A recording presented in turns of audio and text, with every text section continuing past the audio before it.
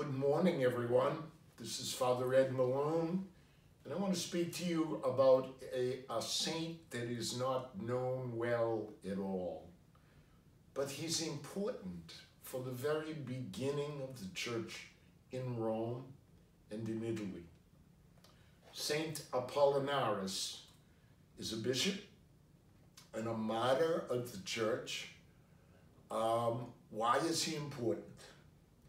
Well, he's important because the tradition says that Peter, the apostle, ordained him and sent him to Ravenna during the reign of Tiberius. That's the emperor of Rome who reigned in the year 41 to 57 after Christ. So you can see that this martyr is very early. His life, his witness, comes directly from being a disciple of Peter the Apostle as uh, the leader of the church in Rome. St. Apollinaris is known for his healing ability.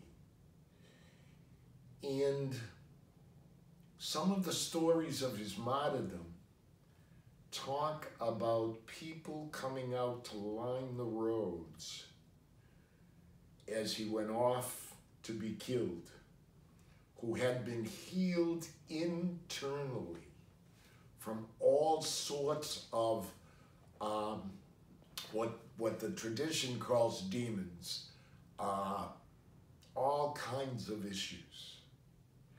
So this is a great intercessor and a reminder that um, this second generation of people, like Apollinaris, who followed after the apostles in various sites throughout the ancient world, that they were instrumental before the Gospels were written, before um, the church was was formally above above ground, but they were the people who spread the faith and witnessed to it.